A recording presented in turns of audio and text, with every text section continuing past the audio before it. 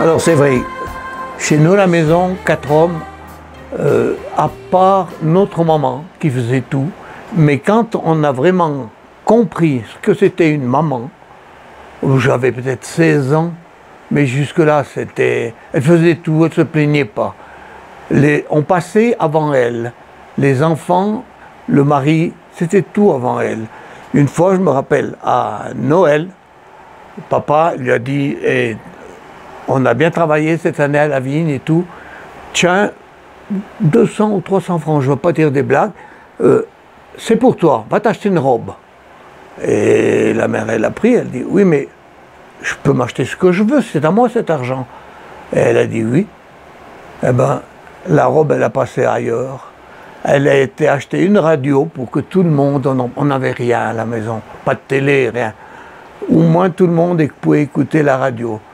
Pour dire que c'était pas elle. Elle, elle voulait que nous, on soit bien. Ça, c'était la maman. Je ne peux pas dire autrement. Quoi. Et bien sûr, euh, quand elle, est, elle allait mourir, euh, elle a eu une attaque, comme une embolie, et ils l'ont amenée à l'hôpital. Et j'étais aux Beaux-Arts. Oui, j'étais aux Beaux-Arts. Et quand je suis revenu, mon frère m'attendait à la gare. Le premier, il est mort, celui qui était là-haut. Quoi.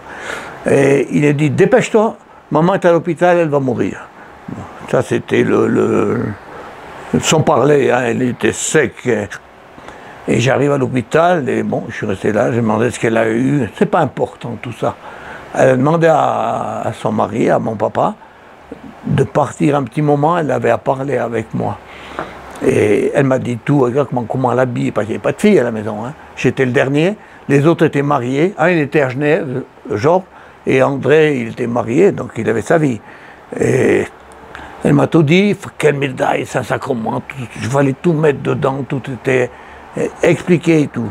Et à la fin, je devais la lever pour reprendre le souffle, la recoucher. Elle m'a fait écoute, papa, il va être seul. Faut pas le laisser tomber. Occupe-toi de lui. Euh, tu ramasses une paire de gifles comme ça, c'est, pas facile à répondre. J'ai dit oui, euh, je, ferai.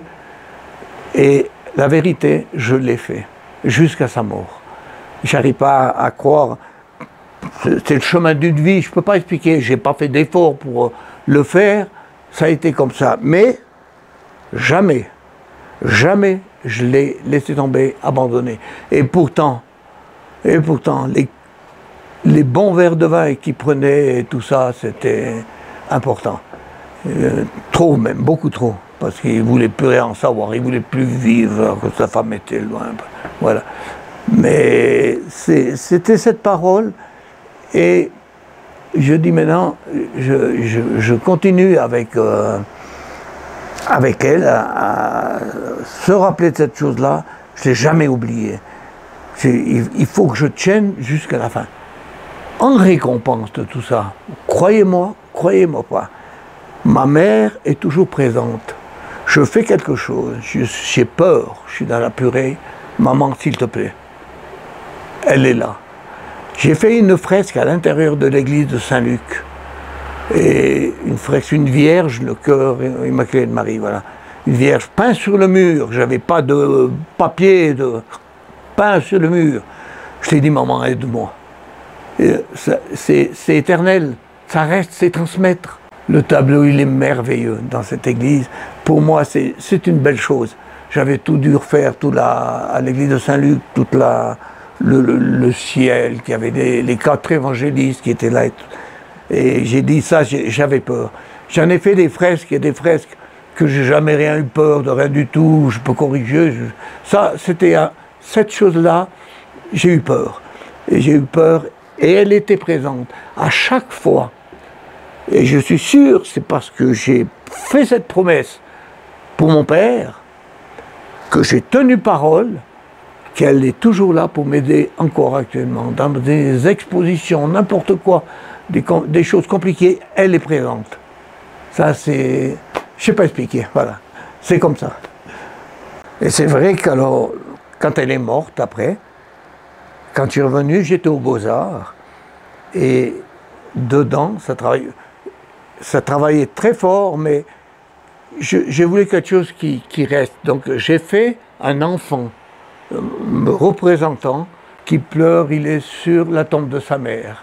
Alors en perspective, il y a une petite perspective du cimetière où près de la fin, il y a un, tout vieux avec la canne qui arrive au bout de, sa vie. Et il est là, il y a le ciel, et dans le ciel, on voit le Christ en bleu qui pose la main sur le gamin comme dire euh, accroche-toi, la vie continue. Et dans le ciel, dans un coin, mais ça je l'ai fait par après, il y a le portrait de ma mère.